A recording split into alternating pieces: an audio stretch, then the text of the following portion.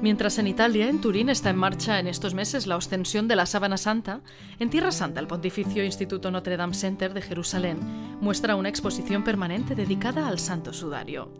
El proyecto nació hace casi 10 años, como consecuencia de la donación de una escultura que reproduce en 3D las facciones del hombre de la Sábana Santa. El profesor Luigi de Mattei hizo una escultura tomando la imagen de la Sábana Santa y la reprodujo en una escultura de bronce muy hermosa. Y un día me dijeron, padre, le va a llegar una escultura de bronce, es una copia de la sábana santa y va a estar en Jerusalén. Entonces empezamos a imaginar eh, cómo hacer una exposición en torno a la escultura, en torno al tema de la sábana santa.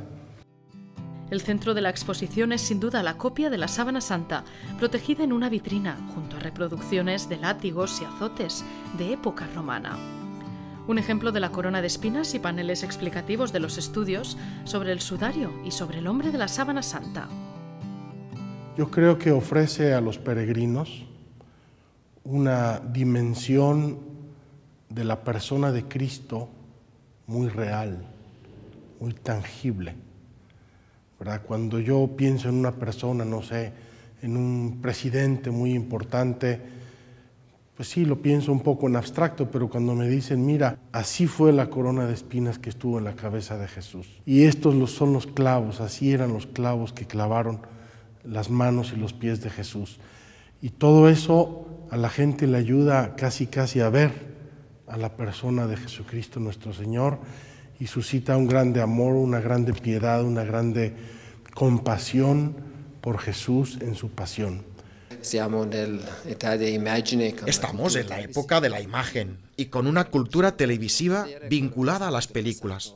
Por ello, las personas quieren ver lo que sucedió en el pasado. Hay una certeza científica aproximada de que estas imágenes corresponden verdaderamente con el hombre de la sábana santa. A Turín, para la ostensión 2015, llegaron también algunos objetos desde Jerusalén, en el contexto del proyecto para el futuro Terra Santa Museum, gestionado por la Asociación Pro Terra Santa, a cargo de la custodia franciscana.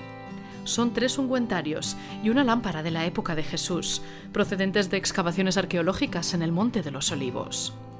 El vínculo de la sábana santa con Jerusalén es evidente y constante. La exposición permanente del Notre Dame Center ayuda a comprender mejor su significado.